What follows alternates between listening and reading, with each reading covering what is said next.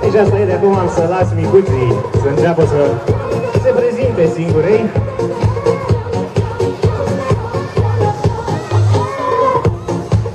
Oana și Alexandru vor fi pentru voi prezentatorii din această